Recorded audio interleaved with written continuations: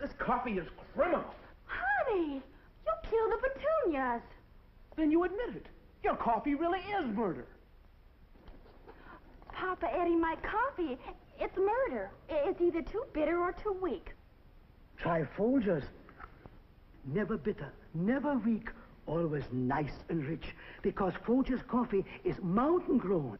Mountain grown? Like the sign says. Mountain grown for richer flavor. Mountains is where the best coffee comes from. Well, all right.